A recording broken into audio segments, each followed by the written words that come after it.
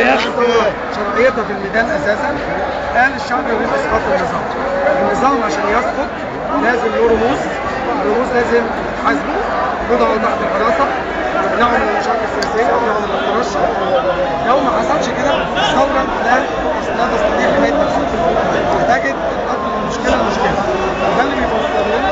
هي ال 15 شهر اللي فات. الثوره لم تصل الاتصال المأمول بنجدد الثوره وبنأكد على ان هناك موجة واثنين وثلاثة. وده طبيعه الثورات هي بمد وجزر دايما في صراع مستمر مع قوى النظام السابق اللي إحنا بنسميها القوى المضادة للثوره نفضل في صراع كلما صمدنا كل ما اتحدت القوى الثورية كل ما شوكتها كانت قوية كل ما ده بيقربنا من مصر. في ثلاث حاجات أساسية بتقول إن دي بت- والذات إن إحنا هننتصر أول حاجة إن الشعب رفض حاجز الحكم يعني دائما إن الشعب اقوى من